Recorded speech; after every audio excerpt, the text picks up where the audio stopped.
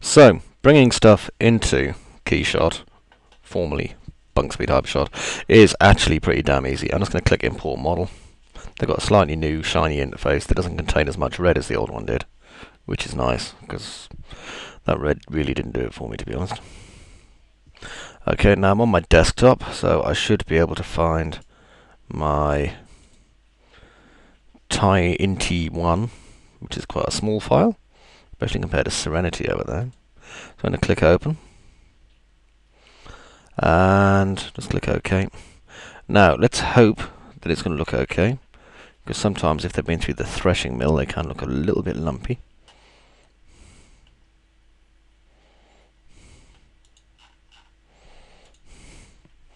There we go, that's exactly what I wanted, so I'm now a happy cookie.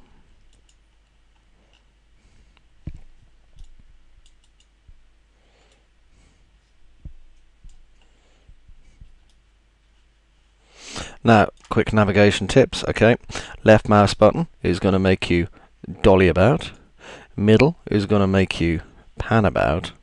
And Alt and right, and then left and right, is going to make you zoom in or out. Okay, it's all fairly easy stuff. So we've got three materials on this, from what I can remember. So if I just go into my uh, material library here, you'll see it at the top.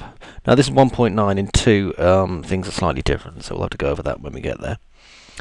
Um, you can see we've got a lot of artifacts going on. Well, we've also got some overlap. I'm not especially concerned about that. Now then, I'm going to go to carbon fiber just here, left click on it and then right click on the parts inside the wings. And as you see they do that, which is quite pleasing. They've got different ones here as well, so carbon fiber there or there. We can even have circular meshes, which is also quite pleasing, I think you'll discover. Okay, now. Oh, I'm pressing the wrong button. Ha ha ha, silly old me. In glass, we want a dark tint. Stick it there. For metals, we want something like brushed steel. For there. Or we could even go to gunmetal. Well, gunmetal is, as you can see, very shiny. So we'll have brushed steel. And the good thing is that if you're not too keen on the colour, say you want to add a bit more blue or yellow or red or whatever, if I just double click on it, I can now change my colour options a little bit. Could maybe add this a little more blue, like that. Okay, so for example, if you wanted to make um, an Imperial Bodyguard TIE Interceptor, which was the red one, I believe, I'm not very good with colours, but I believe this is the whole red, orange, yellow, green, blue, indigo, violet, so red will be on the left at the top. And there you have a red TIE fighter. Now then, obviously, or maybe obviously not, depending on how you look at it, we can't sadly use this see-through thing for that, even though it looks lovely. So let's see what others we have that we can just drag onto it straight away. Well, first of all, let's double click on it and just see. So we've got diffuse, specular, ambient. We've got a texture. Can modulate the shadows. Let's see. God, I love this. It's so nice. I don't even want to change it. I just like it the way it is. Ah, sod it. You know, that is really nice and I'm very happy with it. So, again, what I'm going to do now then is... God, I love this renderer. I'm going to go over to my environment, sorry, my main, and open environment image. Now, the new Keyshot comes with stacks of lovely new environments, so I'm going to go for perhaps an overhead softbox. See how that looks. Not a lot of difference. Oh wait, there it goes. Actually, that's very, very nice. Or we could have a look at Car Studio Dark okay, I can give it a minute. Or we could go with bright or even medium. That's urban. Let's have a look. Jewelry. Hmm. I love messing around with these like so much. That's a jewelry tent. I'm going to go with the car medium. Car studio, bright, dark, medium. Let's have a look at that.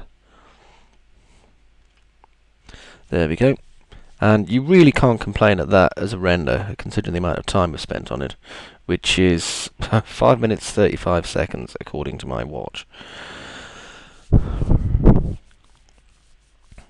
I'm certainly not complaining. Now, for our backplate image, we can change that as well if we want just about anything at all. So if we wanted a 3D Palace logo or something like that, we can have it. Which is pretty damn nice.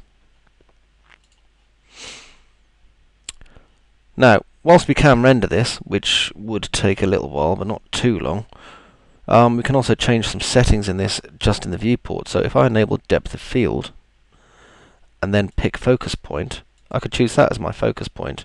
And now if you watch, it'll automatically calculate depth of field based on this port, port part here. Then again, I could pick this as my focus. And this is going to be calculated for depth of field. And when I'm done, all I've got to do is go to File, Save Screenshot. Or if I want to render, I've got to adjust these settings and then go and have a sit down because it will take a little while to render this out. So, I hope you're happy with how this went. Um, I think it looks very, very nice. I'm very pleased with it, considering it took ooh, six hours. Well, less than six hours to make, and that includes the time it took to eat some lunch. Um, if you have an interest in any other 3D Palace tutorials that might go with this set, please check in our shop. Um, you may be interested to know that as you've reached the end of this video tutorial, um, if you type in TIE Fighter, one word, and then 20, you can get a 20% discount on something from the shop if you just want to go and try something else. So, you know, you'll save yourself quite a bit of money depending on what you buy. Um, Sets I'd recommend personally, you'd probably enjoy looking at something like, if you like this, Firefly Serenity model uh, tutorial, ATMT probably, Crux definitely, and have a look at the free Badger set because that's really really nice too. Anyway, thanks for watching, and uh, I look forward to seeing you in MT number 7. Bye bye for now.